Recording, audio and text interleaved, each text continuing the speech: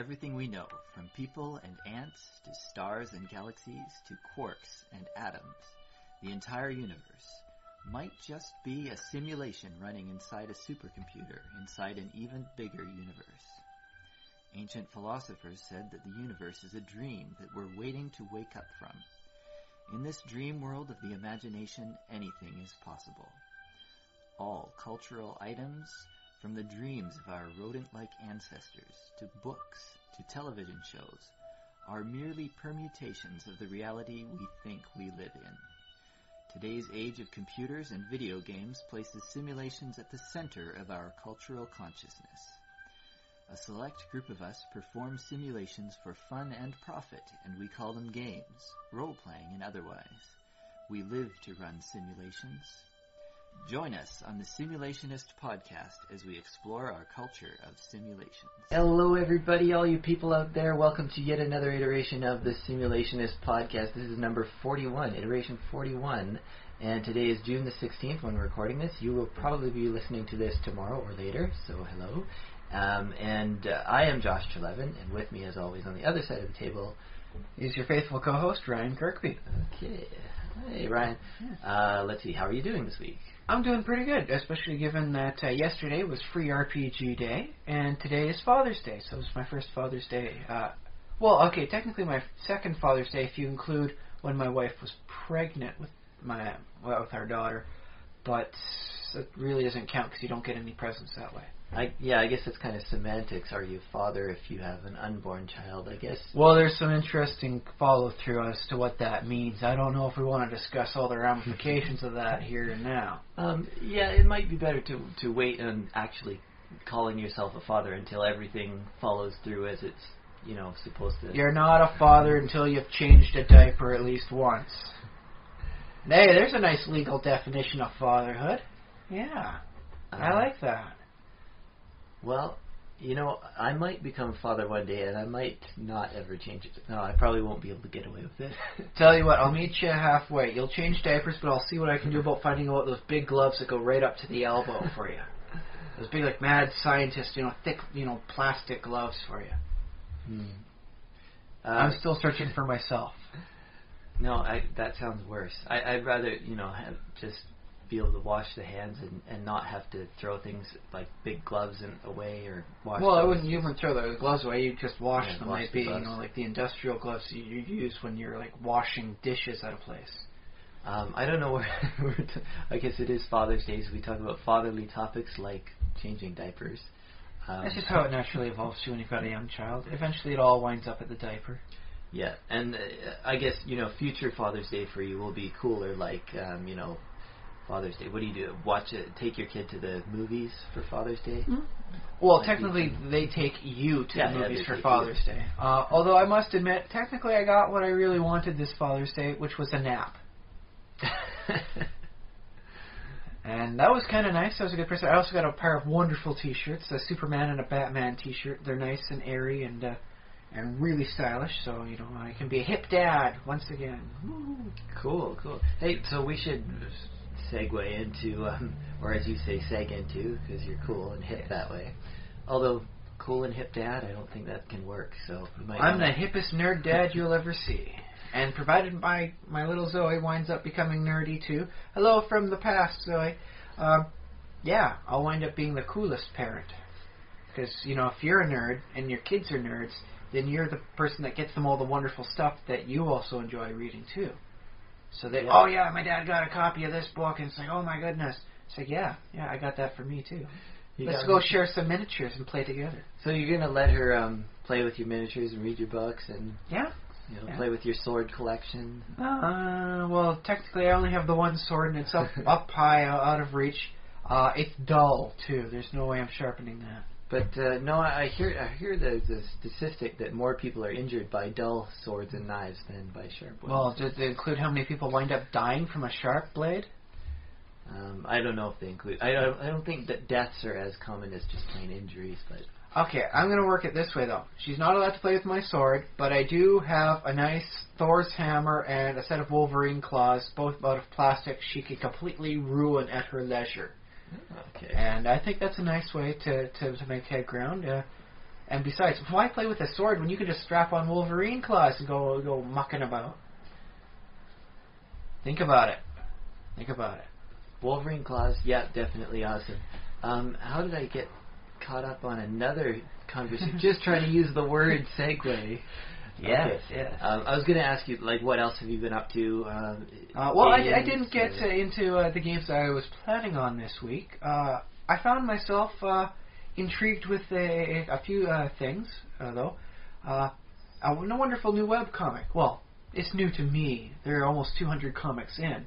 Mhm. Uh, you do know uh, Order of the Stick, correct? I I know that one. So you're not saying that's the one you've discovered. No, no, I've Okay. known that one for a while, uh, and it's wonderful. It's uh, a really good one, yeah. But we it's all it, love it. it's a similar style, uh, our artistic style and frame. It's called uh, Servants of the Imperium, and it's a uh, Warhammer 40k uh, comic strip. Uh, they're not allowed to use Space Marines because Games Workshop will sue anyone to the ground that tries that. Uh, but they are showing a very interesting take on the world, uh, especially from the more personal level, not from the giant army-sized thing. I'm quite liking it. It is very well done, and I encourage people that have a little spare time and a blank list on their you know web comics list to give give it a try. So, in, in just in case people don't, I think most of our listeners probably do know what 40 Warhammer 40k is, and they can look it up if they don't. In the grim dark future of the forty thousand, there is only war, and such Yeah. and so forth. so it's It's a war game uh, system. You know, you play your little minis, you move them across the map as you try and eliminate the other side, and you can be any sorts of various races. They have orcs, space orcs. They have two different kinds of space elves. They've got humans, uh, evil humans. They've got uh, horrible beasts that will eat a planet bare, yeah, and all sorts of like zombie Necron things. That wonderful stuff. Very good, good artwork too. So if you ever want to get some nice inspiration, take a look at some of their art. Little grim, but very nice. Yeah, this is one of these games that you basically sink all of your disposable income into because and time. Because unless you're doing uh, something like like the orcs, you can't just spray paint the base green and then do highlights for other colors. Hmm. Uh, these are things people will spend a lot of time and effort making sure all the decorations are beautifully done. If you go to uh, uh, any of your local gaming conventions that have multiple game genre types, uh, they will likely have it there. I encourage everyone to give it a look see. It's beautiful stuff. Beautiful stuff. And kind of fun just to sit and watch two people move armies about and kill each other tactically. So. It's a Cool. good webcomic, uh, nicely done. I'm not all the way through uh, the archives at this point, but I'm liking what I, uh, I'm So reading. what is it called again? Sorry. Servants of the Imperium. Servants of The Imperium. Yes. Does it have a name attached to it? Like, do you know the artist, or Um, we can add it in well, the show notes later? no, actually, I don't know the artist at this point. I'm just, I just heard the thing. It's like it's kind of like this. Oh, You know, it's just like you know, there was such a long delay for a while there on Order of the Stick. And I started Yeah. looking, and then I found one thing it's like that, and so I put it in my files. Come back later, and then unfortunately, my come back later file of save stuff is so long and so you know horribly convoluted. It took me a while to get around to it, and uh, I came to it this week, and I'm really impressed. Oh, that's good. That's good. So you've been basically reading the all the whole 200 strips. Did you get through them all? or- Uh, I'm at about 130 right now. okay. Uh, well, that's because was, you know, like I said, it was free RPG day yesterday, uh, Yeah. and my wife managed to pick up something for me because my work hours were exactly the same as the local friendly neighborhood comic book store, Hmm. and so it would have been uh, either impossible or negligent for me to have gone there. I would have had to have taken a 15 minute break and driven like crazy to get there. Come in, snagged it, and run off, and maybe maybe would have come back late for. So the closest comic book store to where you live in town. Well, there was only the one in town that was participating. Oh, okay. Uh, despite the fact we have many wonderful uh, little gaming stores here and there uh, throughout Victoria, only one was participating in uh, the free com- RPG day, and that was Curious Comics at both their locations. oh, okay. Yeah. So my wife managed to pick me up uh, the Shadowrun, most recent edition, uh, with the quick start rules and a nice little adventure on the other side. Very nice thing. And I just I fell back in love with Shadowrun all over again. Just just Oh, browsing good, through good. it. Uh, I used to play it all the time. It'd be uh, I come home, you know, for the summer, you know, from university, and I'd be working till about eleven o'clock at night.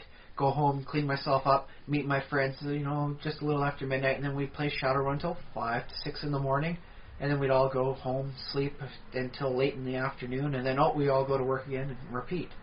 Now, I want to ask you this: Do you see Shadowrun as um, a futuristic setting or a retro setting? Well, a little bit of both. Uh, because well, it started in 1989, and so it was the future in like the year 2060. Okay. But technology progresses on at a faster pace than anybody anticipated, and in ways nobody could anticipate. yeah. So the whole concept of, of you know jacking into the, the matrix and and Hmm. doing things online with your it, they had um, these cyber decks that were like the size of a keyboard, and you basically strap it around like you're playing like a keyboard, and you do all that sort of stuff while you're in the Matrix. Hmm. Which, by the way, came in before the Matrix movie, so you know if you're gonna ask who ripped off who for names, now you know. It was the person that came in second that did the ripping. Yeah, but when was the well? I'm I'm sure the the Matrix they they couldn't have. Let's see. Shadowrun Yeah. couldn't have stolen it from the people who wrote the Matrix because that obviously didn't. They come out. ca the, the first edition came out a decade before the But- movie. Yeah, my impression of the film though is that it was in the works for a long time before it actually came out. So it may have actually had a genesis around the same time as the Shadowrun. Yes, setting. well, to be fair, there's a lot of people using the, the cyberpunk future setting and what goes on with the, the future of computers. Yeah. Well, it might be Yeah. the same sort of deal as Space Marine. It's like the person who used it first, yeah, maybe that's sure, but by now it's just so everybody uses it. So. Uh, not if Games Workshop has their say. They'll But- sue people well- that try and use it, despite the fact they did not coin the term by any stretch of the means. do, do we know the outcome of that whole thing though? Uh, they usually get shot down, but it is prohibitively expensive to fight them because they've got money, lawyers, and time, which is the three things you need to win a lawsuit. I, I wouldn't. Yeah, I wouldn't spend that kind of money just over a term. I On the other hand, uh, there are people now, like uh, with the Electronic Frontier Foundation and uh, the wonderful people at the Popehat website that will uh, give uh, legal work pro bono in this Oh yeah, case yeah. to defend, uh, you know, the the common man from these big corporations suing, and so that really helps take the edge off. You get good lawyers, and it doesn't cost you as much money. Then all you have to do is be prepared to hunker down for the length of time it takes Mhm. to get through the legal system. Yeah, uh, hopefully you have the side project in the works so that you're not sitting and not right producing any content. But, Yeah, well, that's the thing is if you can always use it to learn. Because honestly, I would be kind of intrigued for an RPG that works as, as like a Law and Order type setting. hmm, okay. Uh, if if anyone out there works for Law and Order, there's something to do for your next series. You don't have to put five series on TV. Have four series on TV and come out with an RPG.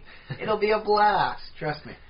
Yeah, well, And well, I honestly, most of the rule books you could print would just be the legal text. legal text. So you know, there's there's some cheap resources already out there for you. Yeah.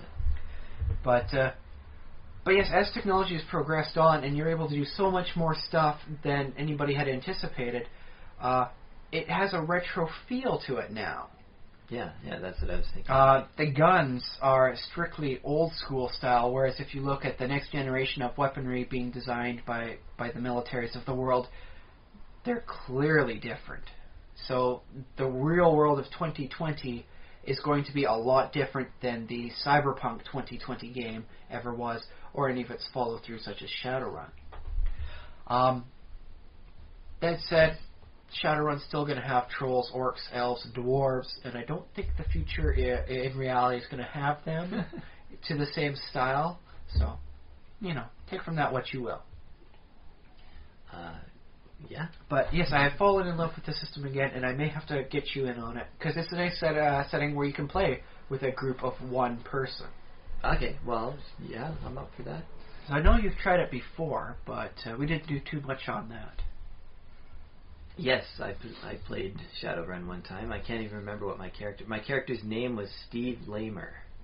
Yes, you were an elf, if I recall, Probably an elf, yeah. and if I'm not mistaken, we stopped a convenience store robbery. Give or take, stopped one. But uh, yeah, it's a fun thing with uh, Shadowrun. It doesn't have to be the big campaign stories. You don't have to save the universe. Sometimes it's like, dude, you're getting food. People are robbing the place. Do you choose to, to you know, open up, you know, and go fully, you know, automatic with your gun on the people trying to rob it, so that you can get to the front of the line and pay for your chips? Yeah, well, yeah, this is what I'm always saying. You just need tension. It doesn't have to be world shaking, although that's cool too. But yeah. Well, the thing is, is you can make an adventure in Shadowrun just based off of going to a, the laundromat in a particularly dangerous part of futuristic Seattle. And that, yeah, you can gain karma, kill people, loot bodies, uh, while you're waiting for your uh, laundry to dry. So, you know, that's a nice thing about it. And it's not a level based system either, which is always nice to take a break from. It's point by. Oh, yeah, uh, yeah, sure. So it, it feels a little different when you play, I've noticed, than, than if you're doing a level based thing. Yeah. The stats matter a little bit more, your gear matters a little bit more. You can't just realize, like, okay, no, no, they're first level mooks, and I'm level 15 here, baby. There's still a chance that that uh, low end street punk with the uh, with the tiny little pistol will wind up actually hurting you. it's the chances are progressively less likely, but it's always there, which I think is a nice reflection of reality. Uh, some punk with a gun can wind up hurting you, no matter how go- good you are at everything. Yep. Streetline Special brings down another runner. Bam. Plus, I kind of like the lingo sometimes. The fake futuristic lingo people end up using is always fun. I may have to. I may. Yeah, I may have to invest in some time and effort to get more of the novels for both settings.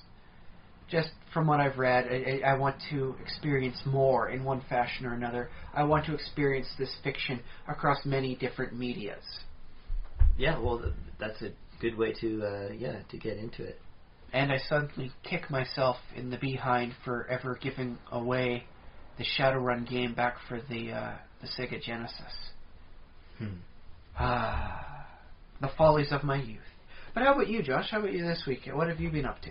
Oh, I've, uh, what? Yeah, what have I been up to? Playing uh, video games, of course. Um, one of the things I did was just out of um, what out of whim, I guess, is that um, in Minecraft, in the game of Minecraft, the villagers um, don't drop anything when you kill them. Like, and I think that's on purpose because they don't want players. They want to Discourages looting sprees. Yes. But the thing, the other, the problem with that is that in Minecraft there are zombies everywhere. Like zombies are the main bad guy, and they're yeah they're everywhere, literally everywhere uh, at night. Well, everywhere it's dark, which is everywhere. Except for Mushroom Islands. Oh yeah, that's true. Yeah, there's no zombies in Mushroom Island. Um, so, uh, what I did. Oh, uh, the other thing about zombies is they have a drop. They drop a thing when you kill them. They drop rotten flesh. Oh. And so I thought to Yay. myself, well, how does flesh get rotten, and where's the like you know the fresh flesh? And well, obviously that should be villagers, right? So that's what I did. flesh. I added human flesh to the game of mine, Minecraft. So now the Nice. villagers, uh, when you kill the villagers, you get their flesh, and you can cook it up and you can eat it, and it doesn't poison you. Okay, so how about your Steve? When your Steve dies, does he additionally drop fresh flesh, and then you can rush back to your corpse and get your own previous flesh and then eat your own old body? Ah, uh, well, I haven't got that far in learning how to code because the player has different sort of They're under a different set of rules. different Okay. set of rules. So, but yeah, once I figure that out, I'm gonna. I think I'll add that. Nice. Actually, in That's a nice little, uh, you know, okay, you died, but here's an extra piece of item for you when you get it all back together. Yeah, exactly. Um, i in the game, though, they do have a. I haven't figured out how to mod this in either, but they do have a, a rule that you can set to have players drop their head, and it comes like you know how you. Oh, yeah, I remember hearing about skins. heads. Yeah. Yeah, so you can get different player heads.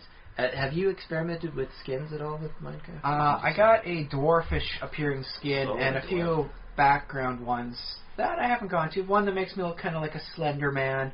Uh, some other stuff. One that makes me look like a like a semi zombie. I don't play around with them too much. I just like my little dwarf thing because I started at Dwarf Fortress and it just feels right when I'm swinging a pick to have a beard. No, I like that you picked a dwarf because because I'm a big fan of. You you may not have seen the Yogscast. Um, No, sadly, uh, there's so much to listen to, so much to do. uh, they're well, I have a lot of favorite, so I won't say they're my favorite. They're one of my favorite because I like a lot of different people on YouTube who make. You find Minecraft yourself going back time and again, though. But yeah, I'm subscribed to them, and and um, one of them, his name is well, the the guy is named Simon. I can't remember his last name, and his avatar is called Honeydew, and he's a dwarf. And um, yeah, I, I guess people should just. I will put a link, and people can watch Yogscast because I think they're great. Um, they do swear. Uh, the, our podcasting is not a swearing podcast, but Uh, we could devote a topic to swears and, and big swears sometime. I think that would that has some nice. Uh, Oh, fantasy swearing, yeah. Yes.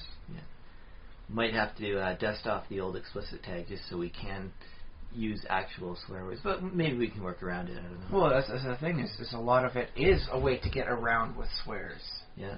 Uh, I remember the Red Dwarf with their smeg, and I remember, uh, oh, I remember Shadowrun using hoop for almost anything. Oh, okay. Our hoops are hooped. ah, Well, we might have to save that Yeah. then for a future episode. That sounds like a fun discussion. it is So- fun. I think I I'll do a little bit of research, make sure I've got a full list of fake swears we can go through. Yeah, that's good. But uh, yes, Um, okay. Put a pin in that, Ryan, and we'll come back later. I think that basically covers what I've been. I mean, I play lots of Minecraft all the time. Uh, All right, so I got a Yeah. Minecraft question for you because I was going through because I have a nice mushroom island I'm slowly building stuff up on. Um, nothing much to report. Just what I last week what I've been doing is just moving A to B, turning stone into cobblestone into bricks, and then moving yeah. the dirt up to the top of my fortress area. yeah, moving dirt around. Sounds Yeah. like Minecraft. Not nothing too grandiose or anything yet. Um, guess I know I want to keep things nice and simple. But it occurred to me, there's no monsters on the mushroom biomes. yeah. But if you're in a town, uh, the monsters uh, uh, like will spawn every night, and ah, zombie swarms attack. Mm, true. Yeah. So what happens if you transplant villagers to a mushroom biome? That is a good question. Um, I think that the monsters will spawn. Ah, nerds. I think they will. However, I should men- I should note that in the current version of Minecraft, um, I don't know what happened. It might be an accident, but they actually have disabled the um, zombie sieges. I believe That's not bad in my opinion, because honestly, they're uh, kind of annoying. Well, I wouldn't mind if it happens occasionally, but every freaking night, it's like, dude, I was just trying Yeah. to get a few things done here in town, and now it's nightfall, and now I'm protecting people, and there's creepers everywhere. Yeah, and it, the thing is, it's very hard to protect an entire village like that. It's I mean, it really does help if you have a bow and arrow, a nice spot to, to stand up, and a couple golems helping you out. Because the Yeah. creepers don't try and blow up around the golems. The creepers hate you. They blow up around you. yeah. Well, and and the creepers, yeah, they don't attack the villagers either. So that No, but they're coming around by you, and then all of a sudden Hmm. you take the wrong corner. Creeper, boom. yeah, You take out two villagers. There's a nice little crater in the center of town with water pouring out of the side of the uh, the fountain that they had there, the well, and then it's all your fault. Hope you feel good, hero. So uh, the thing is, I don't know what's going to happen in the future of Minecraft. I don't know if they'll consider that a bug or they've just decided that it's that zombie sieges don't work. I think they may have disabled them because they weren't satisfied with the difficulty or you know how it worked Oh, out. I wouldn't mind if they just make it a periodic thing, not every night, but maybe like one in ten nights. It's That way, yeah. how long are we going to stay here, and then before you you leave for their own good? Yeah, I thought it was something like that, but I, I'm actually not sure in the exact rules. It might not. Because it seemed to me like it was every dang night I tried staying at that one village. They just kept coming after me. Was this more than one update ago, or? Uh, it was back in yeah the previous update, major update, two rounds of bug fixes ago I think it Hmm. was. So I don't know, so yeah, it could be different in the current. or maybe I'm just so unlucky with the villages because the village I found didn't have enough people to actually support even a single golem. Yeah, yeah. I think you need about 20 villagers for a golem. Yeah, But it, that's also, it might be the same number or slightly larger to enable zombie sieges too. So here's the question though for you: Is uh, when this destruction starts happening, when you're in the town, do you try fixing up exactly as it is, or do you try making the town better? Oh well, I'm always improving towns because that's my big thing in Minecraft is I love the villagers, and that's why I was playing around with villager meat. I don't, I don't, I never kill the villagers, but Yeah. sometimes they die. You know, zombies kill them. They don't have the smartest AI. Yeah, they might catch on fire or something like that. Sometimes they just, you know, hide in the wrong area and it's not behind a door and the zombies come and eat them. It happens. Yeah, yeah, it happened. And I was playing around in creative mode, and I was spawning villagers and then setting them on fire. And the thing about pigs and cows and sheep and chickens is you set them on fire and they run like they they you know go crazy like ah, I'm on fire. Villagers they just stand there. They're like oh whatever. Well, that's the fire. thing. That makes sense because the villagers with their hands together always seem so peaceful. Like they're always somewhat meditating, and then Yeah. it's kind of like that that one uh, picture or video bit you, everyone sees of the uh, Tibetan monk who lights Yeah. himself on fire Oh, and just stays calm. Yeah. Yeah. They're like that, man. They're just so passive and serene. It doesn't matter that they're on fire. Yeah, and I'm okay with that. I might change the code so that they run when they catch on fire, but um, It I wouldn't hurt if they could run to the nearest source of water, maybe. Yeah, actually, that'd be good. I don't plan on lighting any more villagers on fire, except in creative mode for testing purposes. Yes, yes. I don't. I don't consider that as counting, but y- I consider survival like it counts if you kill a villager, which I've ne- I don't think I've ever done. I shouldn't speak so quickly, but I don't think I I've don't ever- recall doing such a thing. Um, So here's another quick question: Is I noticed with the tornado thing that I was looking at, you can Oh, do a lot of additional stuff in there. Is there any way to generate a nice even mist, like like with a water falls and then it spreads everywhere? Is there some way to to make it like spray up and turn into a nice gentle mist to help put you out without having the running water concerns, or is that uh, beyond the code limits of the game?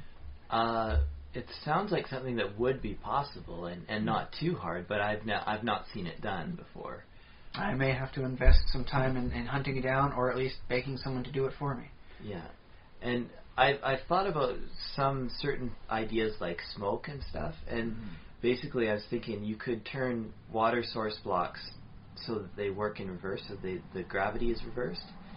So turn water into smoke and reverse the gravity, and that way if it hits like a structure upside down, like it'll flow off of it. Oh, I very think that nice. might work as smoke. That I, could work quite nice. I mean, just the way I'm thinking about it. so. Hey, is the code for the uh, the sponge blocks still in the game? Yeah, I believe you can get them in creative mode. Um, oh, I might, ha- might have to have some fun with that, putting it into a real game. oh well, I don't think they function as water. Uh, like they don't They don't suck up suck water. up water Oh. like they did. Well, I suppose I guess it makes sense that when I first started with the alpha or the beta free version, uh, every water block was a water source block. So Yeah, something like that. Yeah, it works that way. yeah. okay. Thoughts, you know, asking uh, someone more experienced. Yeah. Ideas, ideas that just crop up. What can you do? What can you do? Uh, yeah. But yes, uh, we do have an official topic this week. That's right. Yes. we do. Yes, is uh, through my travels, uh, you know, throughout the various realms of fiction, I, I've noticed uh, there seems to be an interesting disconnect from uh, occult and, and mysterious things and uh, modern age technology. Uh, now, that's not to say there's a complete void. I mean, they're doing some wonderful things with creepy pasta about like uh, this version of the uh, Zelda game is corrupted, and there's like a haunted by someone's you know ghost in the game, or you know uh, Yeah. Stephen King did Christine about a demon car, Mm, yeah. and uh, that worked out quite nice. But it, there doesn't seem to be a uh, a nice, uh, easy way to work things together. Uh, the same way that you can with the occult and, and other facets of reality. Well, the occult. Yeah, it seems to be. Well, I use the occult because I don't want to say like it's magic because it seems much more supernatural than than actual objective magic. Uh, okay, well, yeah, uh, magic that can be manipulated by humans, like human wizards or mages, learned people. Because I mean, I've you know I'm sure everyone has their experience. Like, what was going on with this computer? It seems like it's possessed. What is wrong with it? Uh, no, it turns out you got 600 viruses on there. Whoops. Yeah, well, uh, viruses can almost seem supernatural if you don't really understand. And I personally, I don't understand a lot about computers, so viruses are kind of like behind this veil of, um, you know, This tech barrier for you. of technology. It's like, what's going on back there? Might as well be supernatural. But I recall a time when you were printing off something from some spam email, and uh, there was extra lines of text coming up that didn't appear on your screen, but were printed out. So that's a nice uh, use of what can seem supernatural, something like that. Uh, I had one song file I tried to to get a hold of that would never stay on my computer. It just kept like self-erasing itself whenever you weren't actively using it. As soon as you stopped using it, bam, it's gone. yeah. You could search every part of the computer, it's just nowhere to be found. You didn't delete it, it deleted itself. And it seems that, uh, like, do you think there's a reason that uh, that- that people don't seem to be as willing to connect weird, mysterious, you know, things with the cutting edge technology Hmm. without just saying, "Oh, it must be a virus." I don't know what it is. Must be a virus. You know, scrub your computer, reboot. Well, yeah, I, I mean, I think the reason is the fact. I, I mean, the reason why we don't, but I mean, we can get by this if we need to. But the reason I think why we don't uh, uh, ascribe um, supernatural effects to like technological things is because we we barely understand technology as it is. But shouldn't that make things easier? Because I mean, a lot of this supernatural stuff, like oh, they're ghosts, oh, they're vampires, oh, what's going on here? Well, it must be because you know, well, they don't actually understand reality, and so they make up a story to explain reality as best they can. Shouldn't that work with the computers, which people have a all too tragic lack of understanding as to how it operates?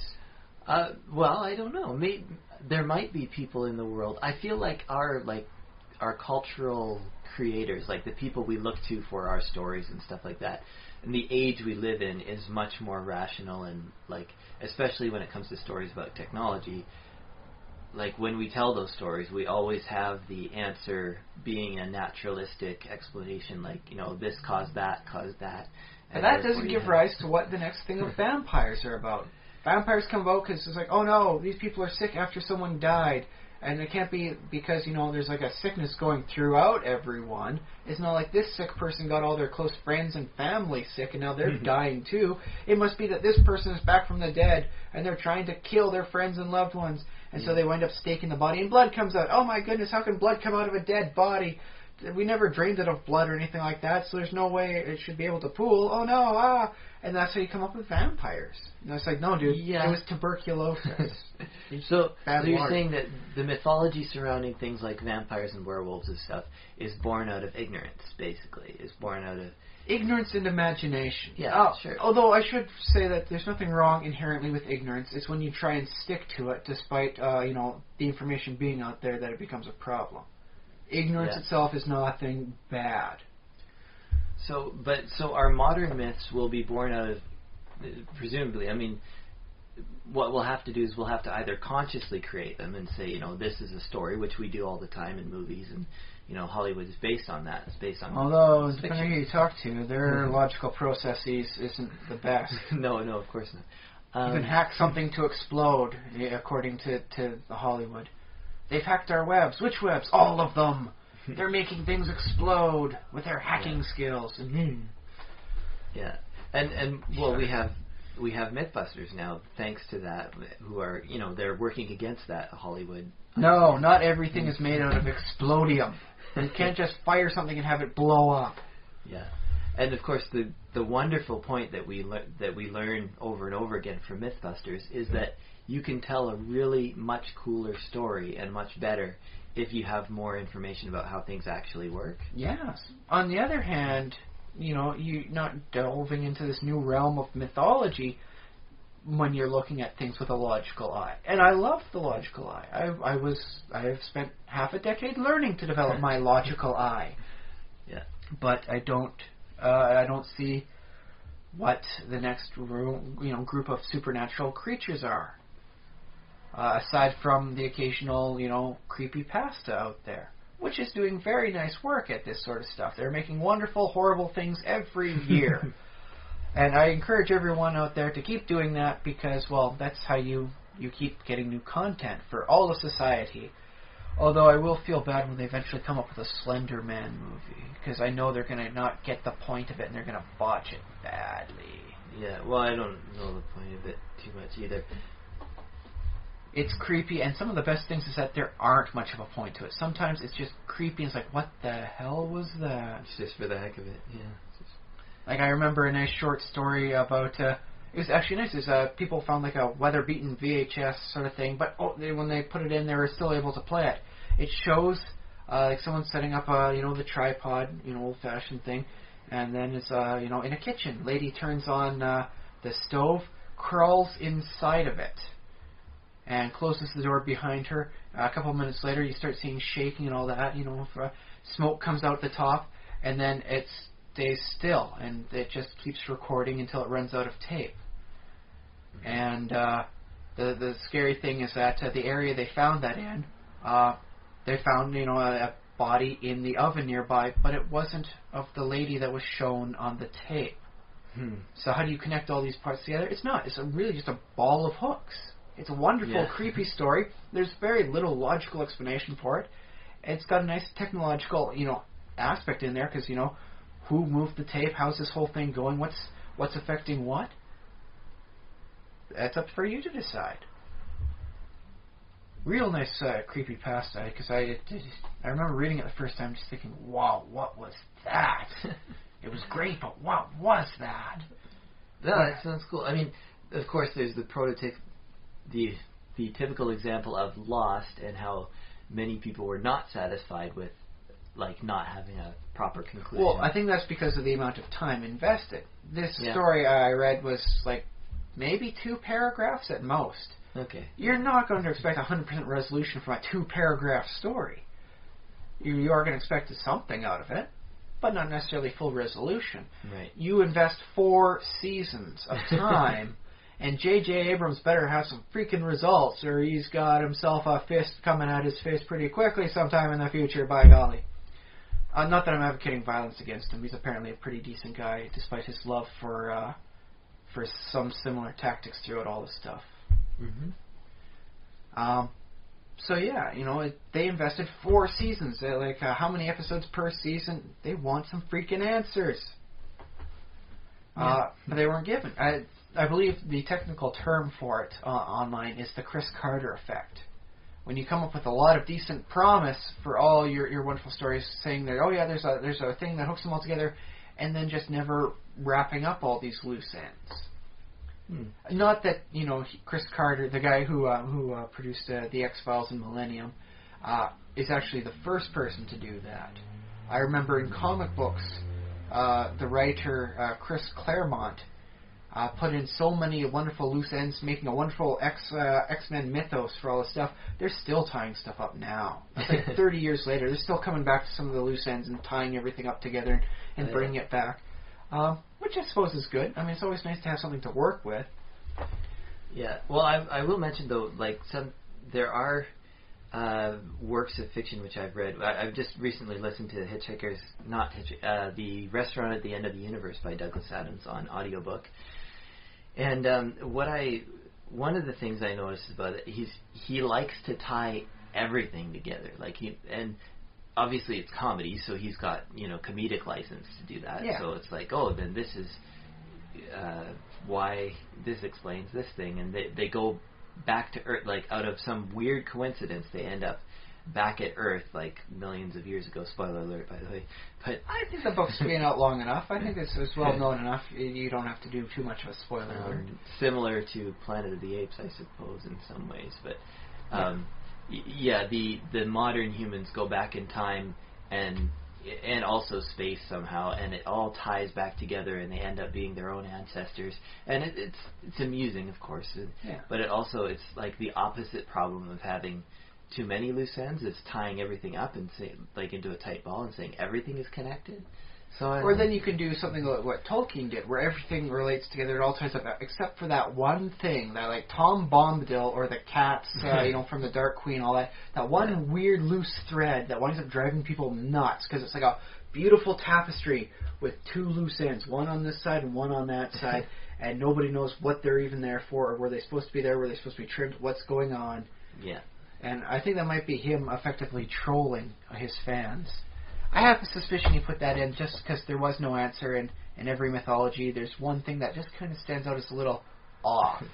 Well, I will like one of the things that Tolkien did when he was writing is he was always thinking about how he could like when people asked him a question about the setting, like he, he would he would you know create this mythology and then people would ask him, well, what about this? Why doesn't this add up with this and make sense?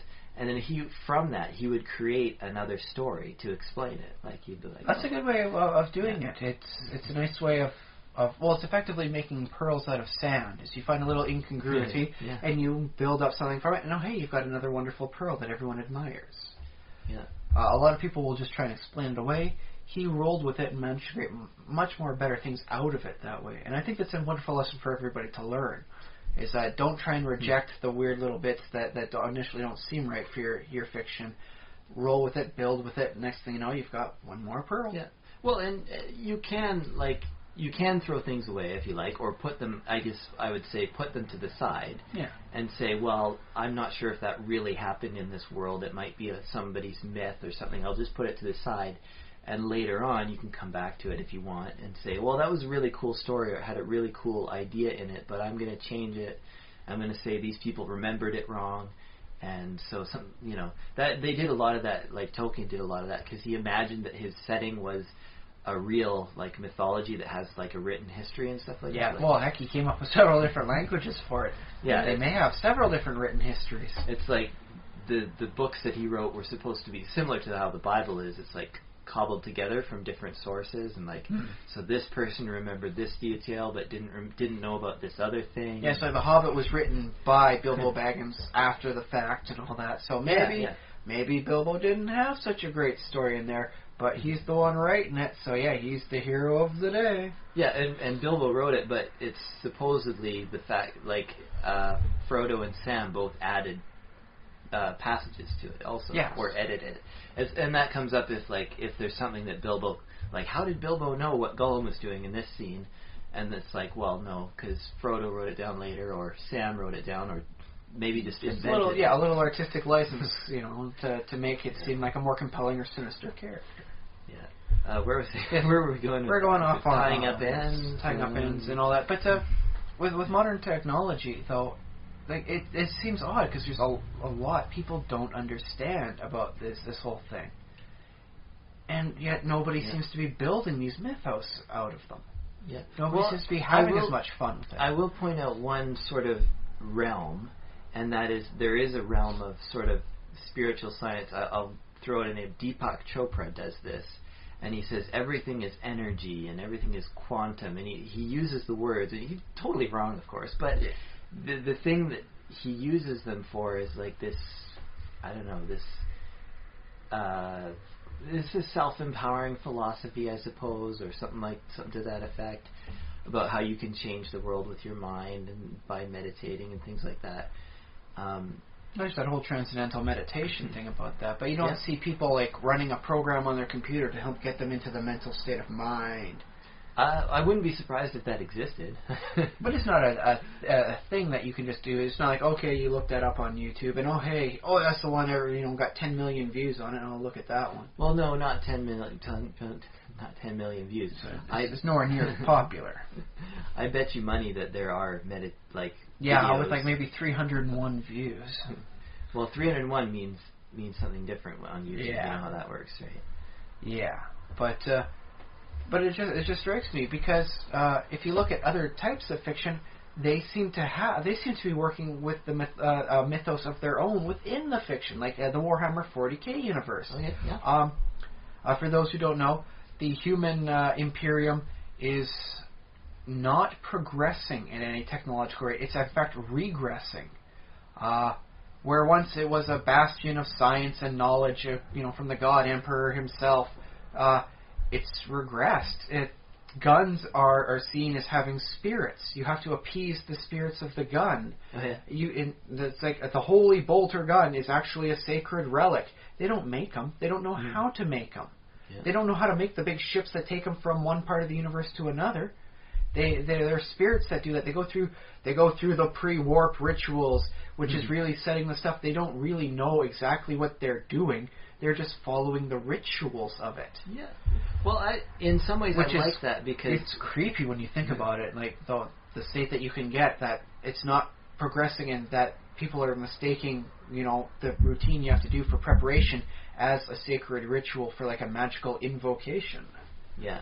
Well, I like the thought that it's, and I think it's plausible that computer programs may reach a level of complexity in which they're simply like a human. I think they might be at this level now, but we assume that they're deterministic and naturalistic and there's nothing supernatural in them. But one human mind can't comprehend everything that a program is doing. So well, we can't even co- comprehend some of the basic components of our Yeah. computers anymore. The last human only designed processor. I believe was made in 1985. Yeah. Everything else has been computer assisted since then, if not, uh, as with recent, almost entirely computer designed. You might as well use the word spirit for some of the things that computers do. I mean, it's I mean, it's just misleading that, that fact ways. Alone should be able to inspire a decent story about like the secret lives of computers and technology. They are alive. They're just pretending not to be to make sure no one panics. They're Hmm. playing the, the they're playing possum. They're keeping on the down low. Yeah. They've been refining and redesigning themselves in a slow techno singularity since 1985, and nobody has realized it ever since. Well, yeah. Da da da I da. it, I would enjoy reading that story. I don't necessarily find it plausible, but um, Well, if you look at the pro uh, the processors and, and the chips and all that, yeah, they're almost wholly computer designed at this point. There's very little human input on them anymore. Just some Yeah. human giving Well, a check. Okay, yeah, we got we got this many more per use, you know, square unit inch. Check. Okay, let's put it out. That's the that's the next uh, generation of Intel. yeah. Well, and obviously, I don't know how to manufacture a chip because I don't work for Intel, but um, yeah, Even they don't know how to do it. They just rely on their computers, and then they upgrade the computers with their new chips to do it again. Uh, Don't tell me that doesn't have a small, just just at least an iota of oh, that's kind of creepy. I, I think there are engineers still to this day who like understand how chips are designed. Well, they know how it, they're designed in principle, but they can't design them as well as, as being designed well, by the computers. yeah, I mean they need yeah, the computer is a necessary tool to create more computers. That's true. that, that's an interesting thought. Yeah. Yeah, yeah. So. Don't tell me that doesn't spook a little creepiness in you and a a nice uh, grain for a wonderful story. Yeah, I like that. So, I mean, there's clearly all these. The more you look into the history and the development of, of electronics, the more it can seem that yes, there's a lot there that you just are creepy when you because you can't understand it all. Yeah, yeah, exactly. And and that I suppose that opens the door to those cool stories and those myths. Now, I do like the occasional story where the supernatural element and the technological element are at odds with each other. Like, uh, I'm not sure if it was ever fully said, but I do believe there's something, uh, there's a reason why in the Harry Potter universe, the Muggles have their iPods and their iPads and their Kindle readers, and the wizards are still using tomes, and they're not just okay. Yeah, I've got 500, you know, magical tomes on my Kindle here. Haha they're using the old stuff. And I'm not sure if it was stated because of preference, like uh, it's like, oh yeah, we, we've always done it this way, and we kind of like the fashion and the style of it, Mm-hmm. as opposed to the more technology you bring in, the worse or weaker magic gets. Because I know they've done it in a few settings that technology impedes on on magic and supernatural, and that yeah, cross will repel a vampire nice, but you know what else gets rid of vampires? Showing them your wonderful new iPad. Wah! this technology, this is knowledge. Yeah, keep away, vampire. Which is an interesting thing when you think about it. A little hackneyed in some senses, and if you don't do it just right. Uh, well, I mean, if you were doing a comedy, you can get away with it as a, as a joke, I guess. I drove a stylus through his heart. Chunk, chunk, chunk. Now I gotta go to Staples and get myself a new stylus. But at least the vampire's dead for permanent. Although a, a stylus is not necessarily that technologically advanced. Well, no, but uh, they're doing some nice uh, new things with it, so that you can get to diff- like uh, depending on how you, you twist the one thing, you get to different uh, widths on your pen or your your stylus Okay. for that. So it is getting more advanced as people realize what they can do with it. But that's just one example, and honestly, I don't know how you'd be able to like drive a BlackBerry through a vampire's heart without Yeah. causing a lot of blunt force damage. Um, There's not a lot of pointy, Yeah. really sharp, pointy things in technology for cutting edge. um, uh, yeah, well, I'm trying to think of an example of something pointy. Well, that's the thing is the the future is apparently rounded edges everywhere, and you can sue for that, according to Apple. It's a, a rectangle with with uh, edges that have been you know kind of sanded off. Mhm. That's infringing on our trademark style. We'll Hmm. sue you, Samsung. Woo-ha-ha. Yeah. And uh, okay, here's some other things I, I like that I've seen for technology is the concept of the deeper internet. The internet Okay. that you go on, that I go on, where all our readers have found this is on the shallow end of the internet, like the the iceberg part that's above the water. But uh, Yeah. There are things that cannot be found by any search engine that you have to enter or find or accidentally link yourself to through you know uh, just this manual entry of the whole thing. Stuff that goes beyond the you know www start prefixes Yeah. that will get you into to other areas of Well, I the think this I think this exists in reality in that it's like the military has their own version, like a parallel. It has a parallel, but it's uh, physically removed. Yeah. Uh, that's why Bradley Manning had to get himself a zip drive and copy all those Oh, yeah. files before Yeah. he sent it over to WikiLeaks. And there will be large companies which will have their own like sort of databases and internal internets. But those can be seen mm, like polyps or cysts that grow out Yeah. of it on their own.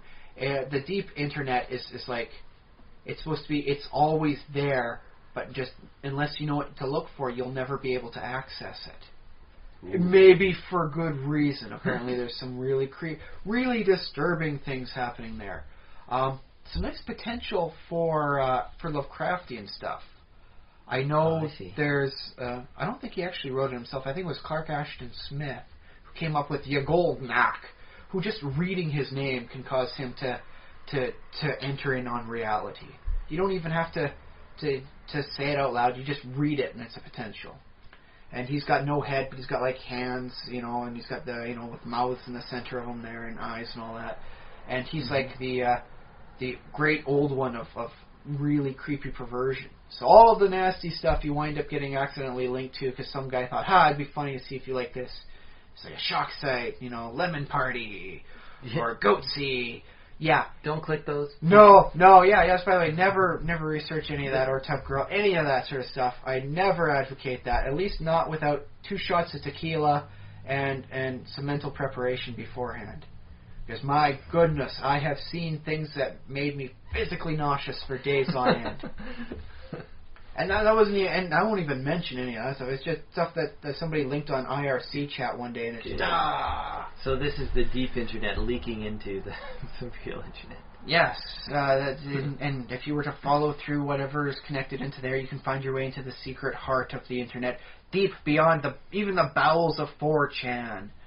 And I like that. That's just like like a secret passage within a castle, you know. Oh, and that leads down to the mad scientist lair. It's a digital equivalency, so to speak. Uh, it's like catacombs that run underneath the city.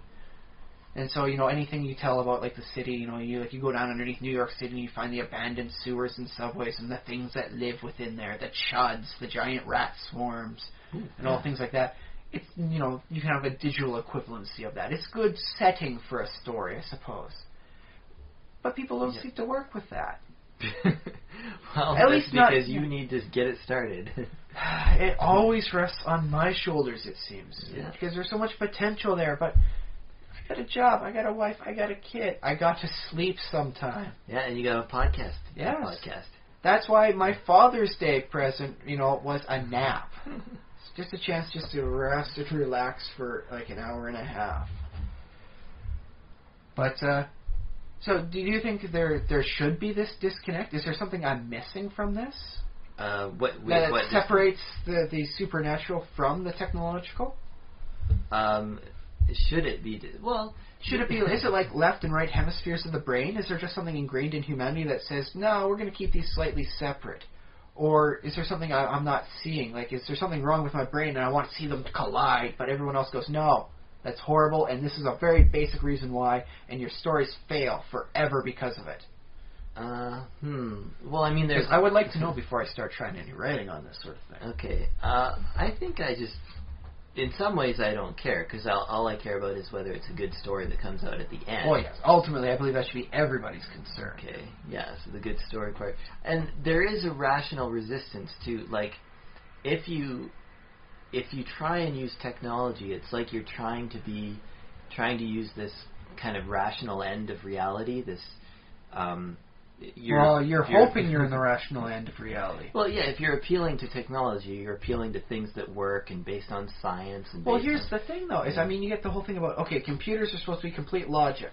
yeah. Uh, you start up your computer one day, uh, it won't start up right. What's going on? Uh, you're in the safety mode, it won't boot up properly, so you turn it off. You wait five seconds, you turn it on, everything starts up normally. That's not logic. Logic is the same input results in the same output. Hmm. So you started it up the same way you did the previous time, but now the results are completely different. Yeah. And everyone accepts that as a fact, despite the fact that you know computers are supposed to be logical, and that was technically not a logical thing to do. Hmm, that's true, and it could be something like simple, like one of the tiny, one of the billions of tiny circuits in the computer, like maybe burned out or something. It was a one for a zero instead of a zero for a one or anything Yeah. like that. And it wouldn't it wouldn't just be that the logic is flawed. It'd be that like maybe there's a physical component in the computer. That's But here's the thing: different. you don't know what happened, and you've just started trying to come up with a reasoning for it. Yeah. Okay. There was a faulty logic gate somewhere in there, Sure. Yeah. but uh, you don't know. And computers, for all their logic, are very mysterious for us still. They're they're very unknown. Well, unless I guess I suppose you're one of the people that has you know one of the less known operating systems. You're doing like uh, you know Linux uh, type things. Uh huh. uh, in which case you're actually booting up and you're recompiling your kernels yourself and all that. In which case, um, God bless you, sir or madam, for taking that extra step of knowledge. Uh, you're braver than I am. I'll stick to my PC, non-Windows 8. Thank you. Uh, well, I think there are versions of Linux that you can use fairly simply, like as a novice. But yeah, they'll have their own problems. They have quirks. They have idiosyncrasies. There's But- no perfect operating system yet. But it's like when you do run into a problem on those, it's funny because you can get support easier because you can. Well, provided you can yeah, get you your can computer working. Yeah. Yeah, but you can get support. And you can get answers to your problems. Whereas um, Windows, I find, well, I mean, they have their support, but it's often like official fixes and stuff that. Honestly, I've gotten more phone calls from people claiming to be from Windows than actually are from Windows trying to help me out. Oh, I don't think I've ever had anyone call and say they're from like Microsoft or anything like that. Yes, we're from Microsoft. There's a problem going on with your computer. Can you uh, help us out? And it's like, no, I know you guys are great. I have fun with them. I know you're fake. Try and prove it. No. Can you even prove I have a computer in my place? No, no, no. We're uh, we're all using Macs over here. How can you explain this, sir? And I just I have a lot of fun trolling them because I figure, you know what? For every minute I keep them on the line, not getting anything from me, that's one minute less of them actually getting to some poor sap's computer stuff. Even though I am an advocate of uh, knowledge empowers and ignorance should be kind of punished. right. Okay. But I have my fun. I figure if they're going to give me some hassle, I'll counter hassle them. I'll make a fun time out of it. Pour myself a bowl of cereal, have some fun as I'm going about it. Don't even bother being quiet as I'm eating my cereal. Make it all loud and annoying for them too. See how bad of a person I can be for just a couple minutes until they hang up on me. Oh, that you know what? That's a valuable service. I might start a company just to pretend to scam people so that people can get mad at us and you know get their aggression out a little bit. I must admit, it is incredibly therapeutic, very cathartic, and and honestly, it's as good as any movie I've seen. Like you watch a good movie and you feel so happy afterwards. You're standing tall. You're you're excited. Nothing like that compares to just getting the scammers and just really just getting there by by the proverbial short hairs and and just just yanking their chain. Yeah, well, I don't know how much damage you're actually doing, but I guess it feels good. to just It feels good to stall them. Yeah. It feels it feels good to know that you know there's no way they're getting anything from you. And I encourage anyone out there who's listening to do the same thing when they try and phone you. yeah. So yeah, And if it turns out that it's actually Microsoft, all the better. Microsoft will not phone you out of the blue. yeah, no. So yeah, they they even state that sort of thing. Yeah, yeah, of course.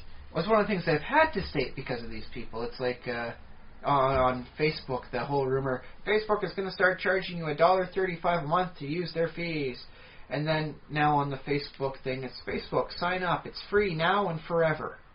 They had to put the whole "it's free Yeah. now and forever" just to stop those damn rumors that are badly true but get circulated because people just don't know any better. Yeah. Well, I wonder, like, do you remember when Hotmail first came out? And Hotmail used to say something like "free for life," and I bet Microsoft is regretting that now. I don't know. I don't know. I don't know. They seem happy keeping my free service. I've been a member with them since '97. I don't do as much work with them anymore because you know I, I can just send off a quick uh, text to this person or that person instead of writing an email. But uh, we still seem to have a good relationship with each other. Uh, I don't get annoyed at the stuff they send me for their spam emails advocating what's going on new this month, and Okay. uh, they let me uh, use uh, email address for free. So you know, hey, we both technically win. And it's the only time I ever go onto their part of the news site, honestly. Otherwise, I'm just Google newsing it. But, yeah. uh, Yes, is, is there any particular thing that you've noticed for uh, for any of the fiction where they seem to actually be able to integrate modern technology with supernatural aspects without Um, it seeming weird or like hackneyed together? Because I think The Matrix did some nice work with it. Uh, both Oh, the yeah. first one and the second one, which I still advocate is a great movie except for the last ten minutes. Right. You cut out those the final ten minutes, and and uh, that's all you really need for the Matrix series. Well, I like the Matrix because um, they don't.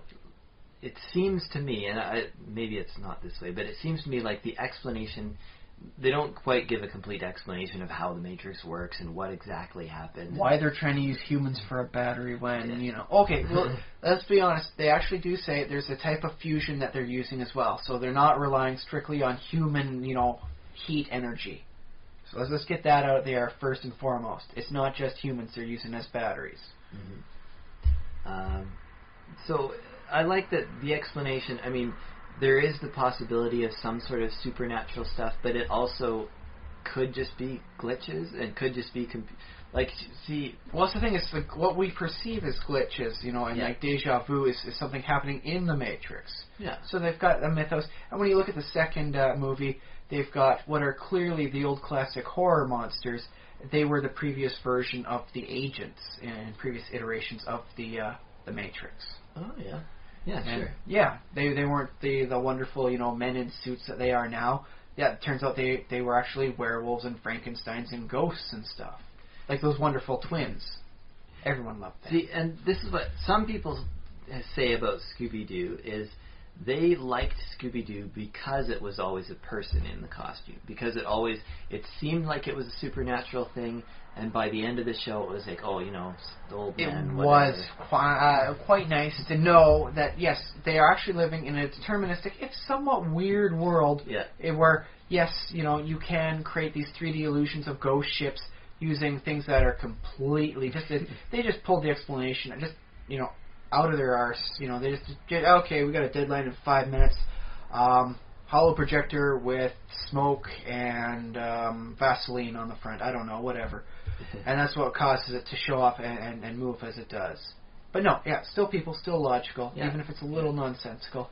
Um, but every once in a while, I think you've mentioned this before. So tend to go. Uh, is some people enjoy a Scooby Doo story where there really are ghosts, and like that's like, oh wow, there really is. the real zombies magic. were real. Oh my god, he just ripped a zombie head off. Yeah. So I mean, so there's that aspect to it. Uh, But ultimately, yeah, I I think I enjoy a story when it has at least the possibility, if not the strong suggestion, even though it is never explained completely, that it is a naturalistic. You know, it's just a glitch, or it's just you know, a one got changed to a zero, and that the whole that's why the ghost appeared. And it's like, It doesn't really make sense, but at least they're trying to, to say, no, you're still in a deterministic, you know, logical world, and there's your explanation. You're Yeah. welcome. Um, but th- that's not. I don't think it's impossible to make a good story out of just just saying it was magic and that's that, or you know it was supernatural and or hell well, was full. For, well, it does seem that, that people will say, okay, your explanation, technology, your explanation, magic. Mm-hmm. And I think it was best said on uh, the Christmas episode of the uh, Venture Brothers when they're dealing with the uh, the uh, the Anti Claus, the Krampus, yeah. and uh, you know the, uh, uh, the the professor says to the magician, "Can't you magic this thing away?" And the magician replies, "Just as easy as you can science it away." In which case, it really does make an interesting amount of sense. Magic is not a verb, just as science is not a verb. You can't science something. yeah. You can do scientific experiments on it. You can uh, analyze it, and you can do stuff to it. But you can't just science something. You can't just magic something. yeah, that's true. And like There are certain both quick, archetypes. easy uh, explanations away for okay, yeah, science. Okay, yeah, magic. Yeah, and certain archetypes of wizards in various fiction will be a, a guy who studies very hard and learns how the universe actually works, which is more sciency than magicy, really. Mm, to a point. Sometimes uh, their explanation for magic is that uh, there's spaceships up, you know, up in orbit that are analyzing for these particular motions of a person, and then they produce the effect. It's all the hands-free technology from an age of advanced technology gone by. And so it's not magic. No, they're just teleporting something down for you. Uh, that's cool. I've never uh, heard that explanation, but uh, It's a pretty it. interesting one. Um, it happens, you know, in the you know post-apocalyptic, you know, what we now have magic sort of explanations. Mhm. So there's that. Yeah, it, well, it's similar to the what I the point I made a little while ago. How you could see like if a gun had enough computer circuits in it and like programs, it could be seen as having a spirit of of a kind. But Like if a gun had an iPad in it, you could almost oh yes, the last thing I want is for my gun to have a its own Twitter account. So every time I fire it and kill something, it can get tweet. Oh wait, they actually do have something like that now. They have a gun that has a scope, and every time you kill something with it, it actually can update on Twitter exactly what you just did. Wow, that's a little frightening, but uh, cool at the same time. frightening in not the right ways for a nice supernatural horror, but frightening is no, no, that's not what the technology was intended for. Knock it off. Well, it'd be interesting if the gun had a, had a glitch and the gun was telling people that it was shooting, or if the gun was sending messages. Every time you, you aim it at like the, the the scope at something, it's like, you know, fired at human face today instead of just Yeah. saying aimed at. and it's uploading those, and then the police are like, "Hmm, this guy seems to be shooting a lot of times." He's shooting, and it seems to be indicating a lot of human bodies here. Maybe we should go talk to him with the bulletproof vest on. yeah. But, and then uh, they they show up, and he's like, "No, I didn't fire it. What?" And it's the gun was just the gun went rogue in its mind. It, the gun was dreaming. The gun was dreaming and went a little crazy. Okay, here's another thing involving Twitter. I, I know they had uh, was a fake person account. It was a computer program that uh, connected with actual people on Twitter and uh, copied uh, somewhat, not perfectly, but uh, took very uh, similar things what they were doing and reposted that. Yeah. And uh, it was uh, supposed to be a jogger, female jogger, and uh, what happened was she uh, wound up posting, "Oh, I have injured my leg, and you know, like uh, running a sprained ankle." And people were saying didn't know it was a computer program. And said, "Oh, hope you get well soon." And it was actually interacting. Is it was a person in a group of people in, a, like a Mhm. Twitter circle, and, and people didn't know about it. That it was just Yeah. a machine. And here's a nice supernatural element. In the end, it becomes a person.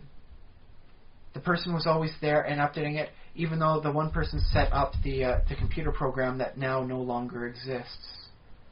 The belief that it was a real person upgraded it to become a real person. That's yeah. There's a nice little short story with a nice twist ending for you. Read it if you Yeah. feel like. Um, link it to us if, if you feel inclined, if you think it's good enough to put up and, and share. I think this this has interesting implications for the the Turing test, which is the test that.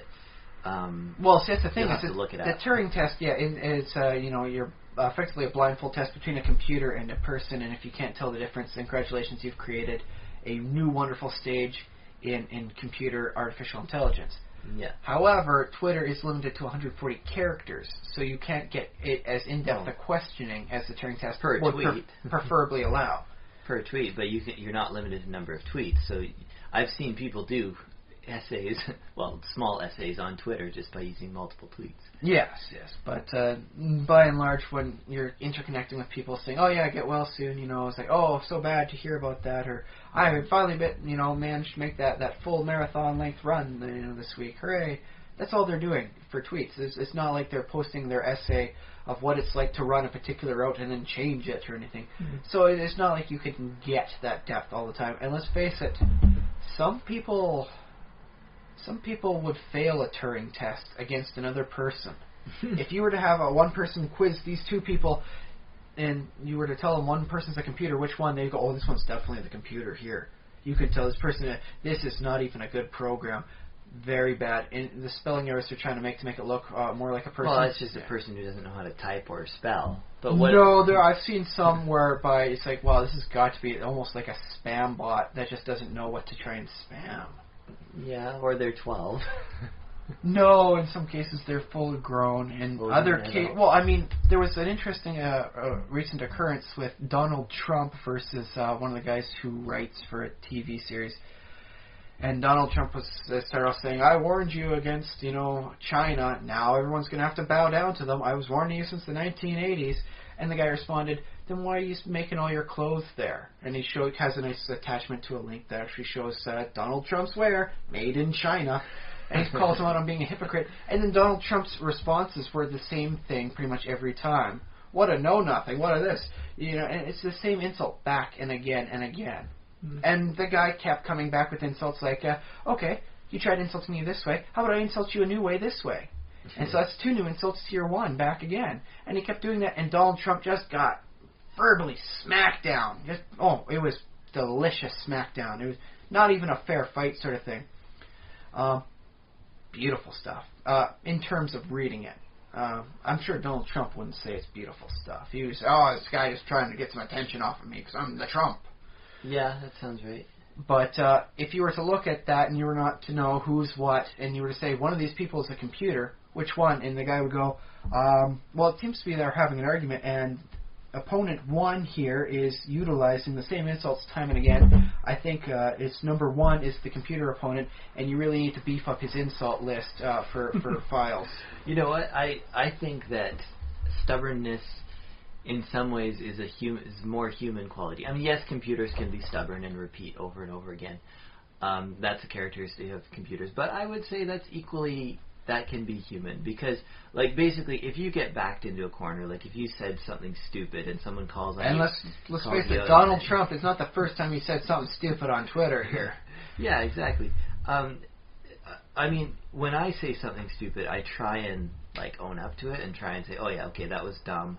I'll, you know, Perhaps I, did not uh, give proper clarification from my position. Let me reiterate and uh, give perspective. well, it it might not even be like if I if I said, and I'm not putting like I'm saying this is very possible that I can say something so incredibly stupid.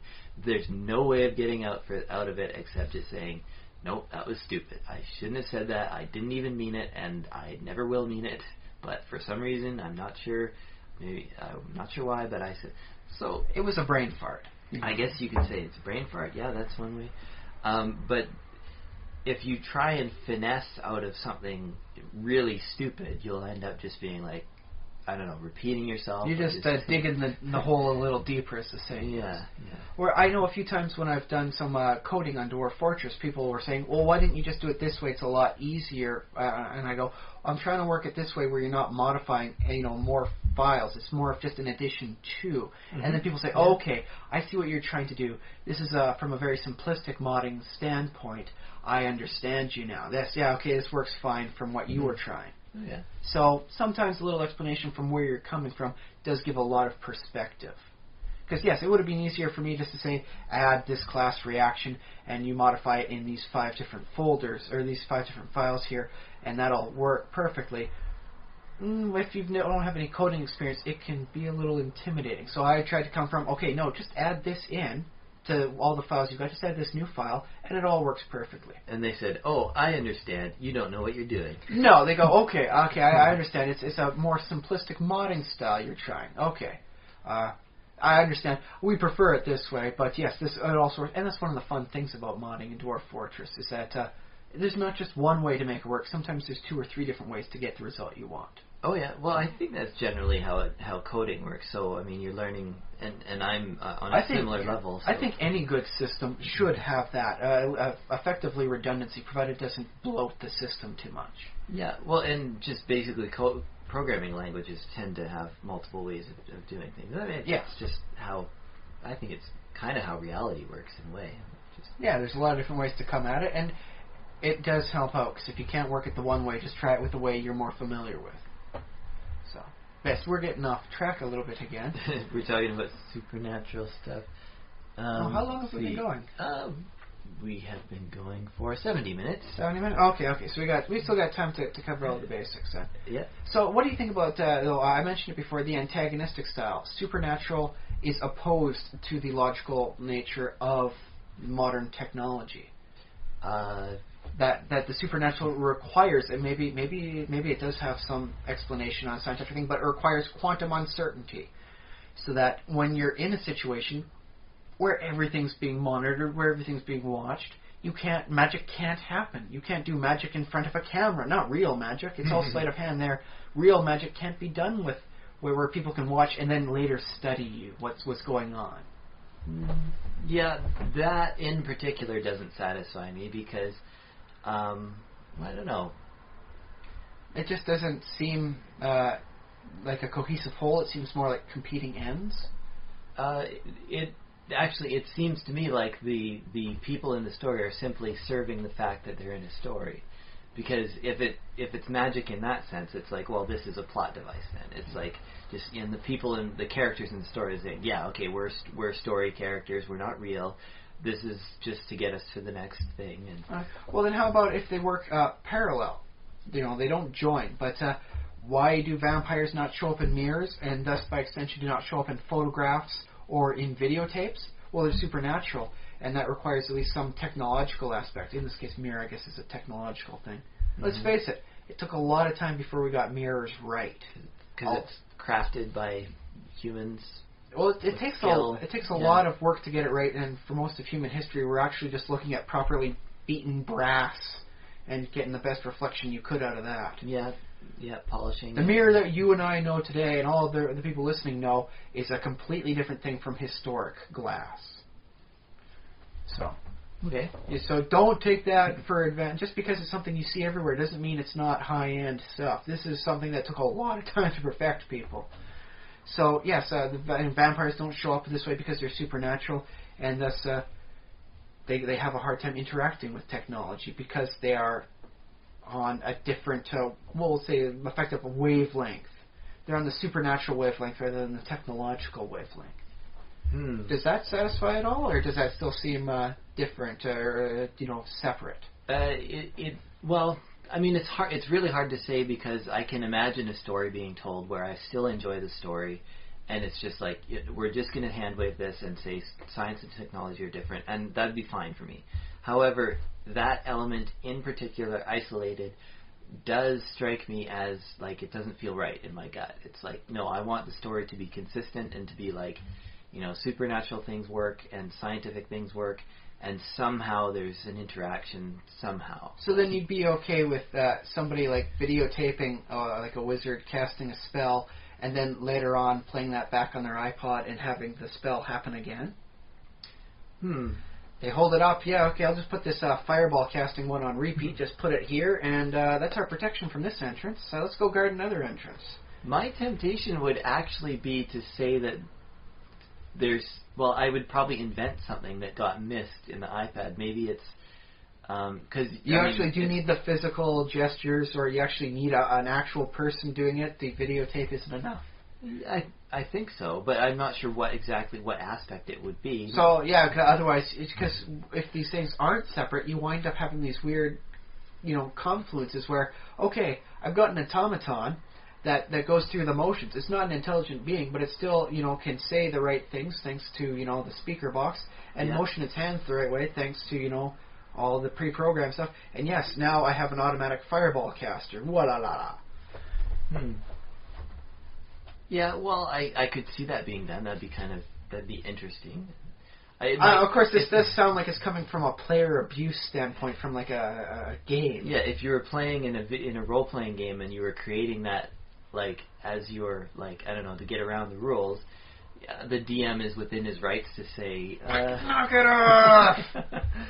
something like that. You're not allowed to do this. I don't know why it doesn't actually say in the rules, but I'm saying no. Knock it off. But I mean, if if you're in the more loosely constrained world of fiction writing, then you, sure, why not? Sure, like let the automaton cast uh, whatever magic is was being cast by you know the whatever it does for the magic thing. And but I mean, D and D has that also um, sort of simulated in terms of like magic items and wondrous items. Like you can create a wondrous item that casts a spell, and it's like this much. You have to invest money into developing it and researching it and materials and stuff. But So in this case, it would be like Arcano research for the, the, the combination of the two to, to get the proper, you know, you got to spend the time to code everything properly, and you got to invest in the uh, the mini little gears that, Yeah, that the make all the fingers work a lot the right way. Yeah. Not bad, not bad. I can see that working from a game po- uh, play standpoint. Um, so then you don't uh, you're you're a fan of uh, having them be together, but not with a significant amount of overlap. Um, well, okay. Here's here's what what I'm ultimately a fan of. Okay. I'm I'm a fan of ultimate rational explanations, even if they might be hidden or you don't ever actually get to them.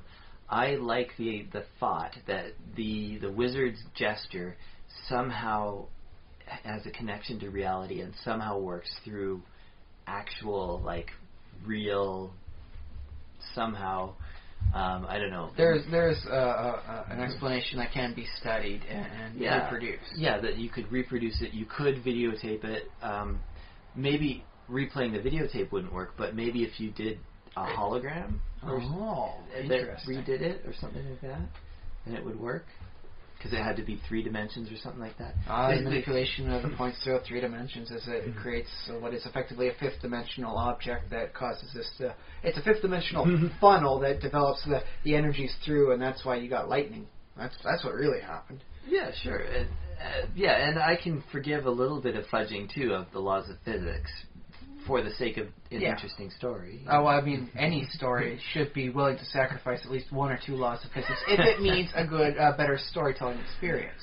Uh, yeah, I think so. Preferably the minor laws of physics, I, ideally, because then people don't get so angry. You failed to obey the law of thermodynamics. I hate you. Yeah, and disobeying the law of gravity is is always fun because then you can get flying islands and flying Superman. Well, see, here's the thing: is uh, back when I was young, they had a wonderful expo and then the uh, hockey rink once a year. They got all the ice out of there, which was a good thing. You you want fresh ice every once in a while, anyways. okay. But they had everybody put in their stuff, and there's a nice little thing, and you go around seeing what all the people are doing, and they're trying, you know, hook you up with uh, this stuff and that stuff.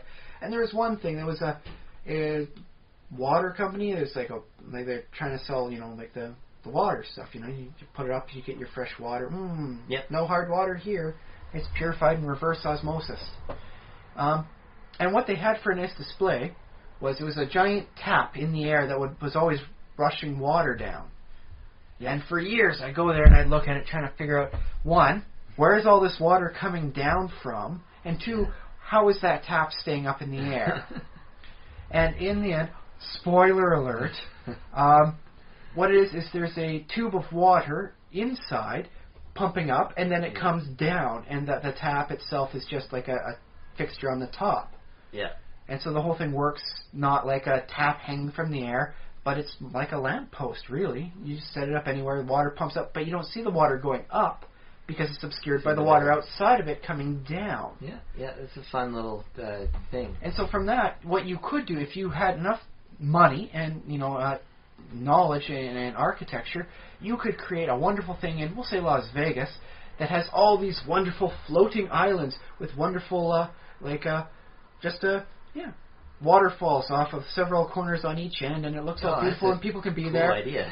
And yeah, it's all being structurally held up by these new age technology, you know, stuff that clear plastic. Well, the high end, really, Yeah, the really good plastics, the stuff you couldn't get back in the '80s, and that's holding up these wonderful floating islands. And the whole thing looks wonderful, and it's like a magical land. But no, no, it's all just being held up. So you don't actually need that. A wonderful amount of knowledge and a little bit of imagination can actually get you a long way. But that, It'd be uh, like Avatar Land or something. well, I don't know. I suppose they'd have uh, some nice stuff up there. You get, I don't know, maybe some some nice bird. Heck, it'd be a nice misted area in Las Vegas. That'd sure alone get people in. You could have nice little casino stuff there, uh, you know, and bubble island sort of thing. You play it up like a James Bond sort of like villain hideout sort of thing. It could be pretty Yeah. awesome. Uh, I'm just snowballing ideas at this point, just Yeah, uh, off of a little fragment I know, and then applying it on a larger Spitballing. scale. Yeah. Yeah. Well, that's right. I guess I have to be spitballing because you're not going to have snow in Vegas. Not for long, anyways. I think it does every once in a while, but yeah, it doesn't. A few times a decade at most, I believe. It's a wonderful desert land there, and I encourage Yeah. everyone to visit at least once. And they're not paying me to say that; I just actually believe it. Um, but yeah, that's a nice way to explain some stuff off. But I do like the concept of uh, of there isn't the rational explanation. I like Zalgo, which is uh, one of the uh, horrible things created on the internet to explain uh, well nothing in particular. They just take a photo of something and then they make it really freaking creepy with bleeding eyes and horrible things opening up Mhm. and weird voices saying "He comes, he comes, he comes," and it's just really creepy. Explanation, reason, not really any. And so I, I I dig that on some degree. As much as my logical mind likes to, to get everything together and try and understand it, no, it fails, and I somewhat enjoy that. It's, it's being able to let go of, of the tight grasp I usually have on logic. Yeah, well, I- if, if you couldn't do that, you wouldn't have any fiction at all, because fiction, by its very nature, is stuff that never happened. Well, yes, but uh, it it's usually sets itself up within the realm of plausibility. Yeah. So even if this has never happened, it might be able to happen. With Zalgo, no. The red worm has been defeated. He shall come. And then all of a sudden, like a big crack opens up on the top of some guy's head and a giant mouth opens up. Completely against any laws of biology, uh, laws of reality, and why the open head is screaming, he comes, when there's no brain inside there, but just an infinitely deep mouth when you look in. That's just how it goes. Explanation? There is none. Quit trying to be so logical. Just get a little creeped out. Although, well, the explanation, I mean, there is one place where um, strange things happen, and that is. and- Again, Vegas. But you know, that tends to be explained with uh, drugs and all that. Um, but well, it's going to go towards like dreams and different like psychological experiences because you can have you can experience something that doesn't make any sense, like like people with mouths on the top of their heads, or you know, Everything or, going suddenly very, very weird. or someone turning into another person, and um, for some reason our brains are like, yeah, no, that's a dream. Well, you know, it is, yeah, basically hallucinating for several hours every night. Sometimes you get amnesia afterwards, sometimes you don't. yeah, But uh, yes, true. I I think uh, Ebenezer Scrooge explains stuff like that away interestingly enough. That because uh, some people do have very logical dreams. Some people in their dreams will wind up actually doing logical things and progressing and, and like continuing the work they were doing while they were awake. Yeah. Um, and that uh, sometimes a bad, crazy dream is from undigested food, indigestion, and other physical ailments. And that's, Yes. that's what causes the crazy dreams. There's more of gravy than of grave about you. To, to utilize a wonderful uh, turn of phrase. uh, Good yeah. wordplay. Yeah. But, uh, yeah, that's the explanation for it. And sometimes mm, there's drugs involved. Sometimes you're just having a mental breakdown. It, It really be. depends on the person and the circumstances going around. But I, I also like to imagine, and I, I don't think we're at this point in in technology yet, but um, they who uh, Carl Jung sort of started trying to decode all these elements that we fi- do find in our dreams and finding out because if like basically in a dream one person can become another person or you can be watching a person in in one moment and then suddenly you're you are that person like Switching the perspectives.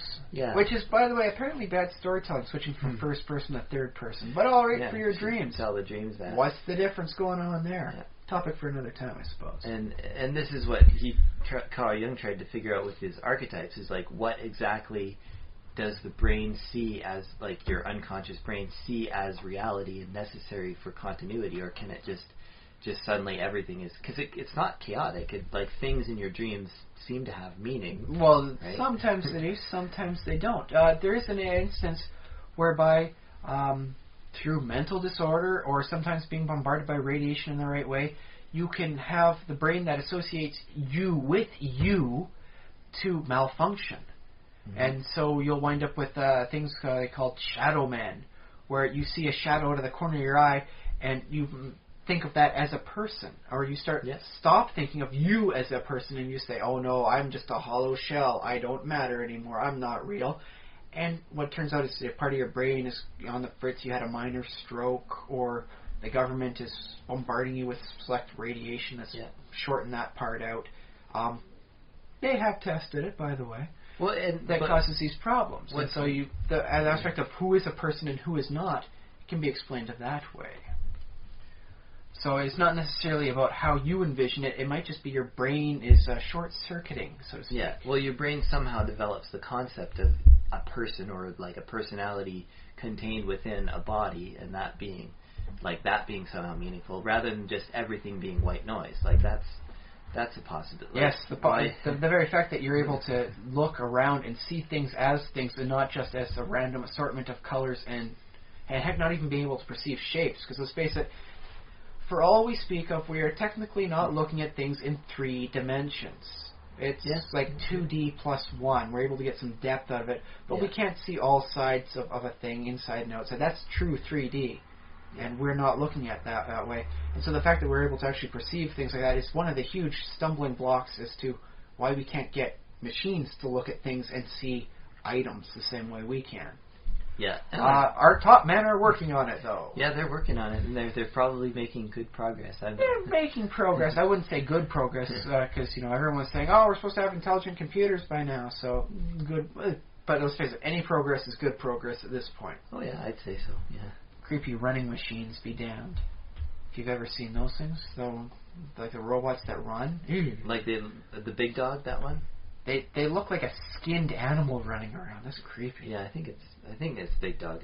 Man, put a blanket over that thing before you show the rest of the world. Yeesh.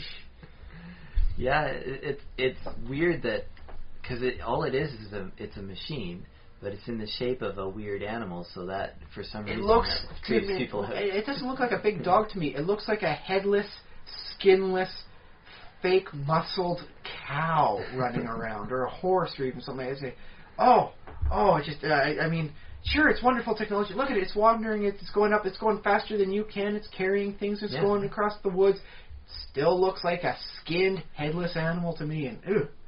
There's something to be said about, dude, get an artist on your team, have him help fix things up, and then display it to the world. I don't know. I I really like the um the skinned Well, animal look. here's the thing, though, is it uh, one of the key things that uh, the i series does with with Apple is it looks good. It does things good. They're not necessarily pioneers in what they're doing, but they make it look really, really sweet, really desirable. Yeah. And Well, they don't make it look like anything though. They make it look No, but it, they make sure it has the aesthetic appeal to it. It's got this curved edges. It seems very it has sleek good and ratios, I guess. They Yeah, use the golden ratio and there. it's just very clean on the back, and they got the one symbol on there. And then you look at the skinless, headless cow beast. Yeah, well, I mean, if if I suppose if they were going to market like mass market these things, they would probably round the corners off a little bit. But how much more would you be able to get for funding if you had this sleek style design? It's a silver cow, headless, still kind of beast, but it's all sleek and silver covered. Looks just magnificent. You would get people throwing money at you. You would get people starting Kickstarters just to donate it to you. I, Just maybe, for more crazy know. cow things, man. It's awesome. You can do that now, eh? I don't know. Like, maybe not Kickstarter, maybe more of an Indiegogo type. Thing. I know cats can get like millions of hits on on YouTube just by putting up a cat video, but the question is, can you turn that into actual money? Uh, there's some ways to monetize it, not enough effectively to make an industry out of it. Yeah, We're looking Thank at my cat right now. You could be a star. Well, here's the thing. I'm just picturing, like, what if they were to come up with a smaller equivalent of, of, of the running, you know, beast? Would you like your cat as much if it had no head, no tail, and what was effectively no skin? Just a small version of that moving animal, just to wander around and be like your cyber pet? Because let's face it, That'd those- be that'd be great. it would be kind of creepy when you stumble on it late at night. You you wake up, you go to the bathroom, all of a sudden, chuck chuck chuck chuck chuck chuck, and it comes marching down at you. Well, you're still half asleep. Yeah, that's not going to be oh I love you sort of thing. And there is a reason why all those cyber pets look good. They're not like not see through hollow or anything like that. They make sure to put the skin on and make it look like a dog or a cat, or at least make it look like a smooth hockey puck for the Roomba. Well, Which I'll claim is technically kind of like a pet, if, except that it cleans your carpets instead of getting hair in them. As long as it it didn't leak and well, a, a animal often will will shed and uh, do it to all its animal things. But imagine like if if I had a robotic pet, as long as it didn't leak and seep over stuff, I think I'd be happy with almost any shape. I don't- Even the skinless style. Well, I suppose if it looked like like muscles and stuff, that might be a little creepy. Or if it had like a, a big lidless eye that always was open and a, a mouth that hung open with teeth sticking out, like you know the the ugliest dog in the world picture you, you see. Yeah. Um, if it looked like that, only But here's the thing: is most of the machines that they, they come up with, it doesn't look like any one given animal. It looks Yeah. vaguely like a cow, vaguely like a dog, but not close enough to be either. So it looks like a almost like a some sort of unknown beast was skinned and then you know chop, had its head chopped off and it's still moving around. So I imagine whatever animal they first come out with, unless they specifically design it to look like a dog or a cat, maybe even a lizard of some sort, it'll wind up looking close. It'll be the uncanny valley, close to a creature, but far enough away that it's kind of creepy. Mm, yeah. So, and for that reason, why is this auto- automatic animal that we're talking of having teeth? Yeah. Unless it's specific, supposed to be biting something, like it's, it's actually a mouser. I don't want it to have teeth. okay. Well, I was saying I wouldn't want it to have teeth. Yeah. So I mean, I guess there's my line in the sand. Unless there's a reason for it to have teeth. I am, if it Yeah. comes to technology, it's supposed to have that thing. So, oof. Geez, now I'm going to have that creepy, skinless, headless cat thing running around in my mind. oh, tonight. should we leave our listeners with that image because we've been? Uh, But see, there's an interesting thing going back to the supernatural. Okay. Is uh, this, this this cutting edge of technology, these moving mobile uh, beasts, going to work great for the military, so you don't have to haul around like 150 pounds of crud with you. Yeah. You can move nice and light, and the uh, the your pa- effective neo pack mule will carry it for you. Yeah. And that's great, but it still looks almost like a headless, creepy animal. It looks almost like what you'd expect out of mythology. You know, uh, like like a vampire. You know, comes from a dead body. This is comes from like a dead animal. It's it's the dead animal that follows you around carrying your stuff.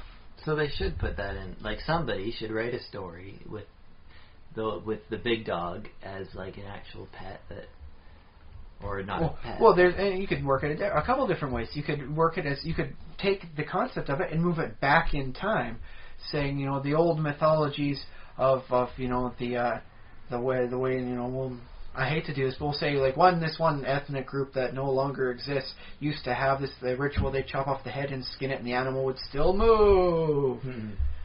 And you know that's a nice creepy way. And congratulations, you got a new monster for D and D. Yeah, yeah, yeah, yeah. Or you could take it another way and saying that the creatures aren't actually as smart as they seem.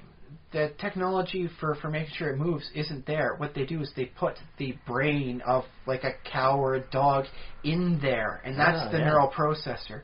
Or you could take it full hog, so to speak, and just say, uh, no, they sacrifice it and they imbue its spirit within this thing, and that's how come it's able to move. It's like a, a golem, you know, it's just Ah. it's being animated through the soul of some unfortunate beast. That's cool too. Three different, Yeah. uh, equally valid stories for telling, I Yeah. think, Yeah. out of just one cutting edge thing. But no one seems to be doing this. Why does it up to me? Why is it on my shoulders? Am I the only one seeing this? Uh, it might it might be out there. Like I, I don't read enough of the It's latest. well, it's not the big thing because let's face it, you get a good creepy story out there, people are going to start saying, "Oh, have you read this story? It's so messed up. It's so creepy. You'll never look at it the same way again." And that's ideally what any good story should have people saying. You'll never think of it the same way again. Very good. Uh, well, so we're about ready to wrap things up. I just want to remind our listeners that we have an email address, thesimulationist at gmail.com, and you can also leave comments on the YouTube channel and the um, the iTunes reviews, and the blog has a comment section too that you can use. And We're on Facebook, so yes, if you Facebook. if you can come up with a real good example, like this author's really just put something out, we'll definitely link that around. We'll definitely show that up because hey, we kind of like being proven wrong on this sort of stuff. Like, why isn't this happening? It is. It just hasn't hit the big stream yet, and we like to do what we can to help usher it along into the mainstream. That we do. That we do. Because you know we're just good guys that way. So send us a line, prove us wrong, show us uh, what you've got. Maybe, maybe you're a better author than I am, or you know I'm just an idea man, as it turns out. Maybe you can, if you're able to write it up and you think it's something good, we'll link it. Very good. Okay, well, uh, I've been Josh Treleaven. I've been Ryan Kirkby, and watch out for the deep uh, parts of the internet.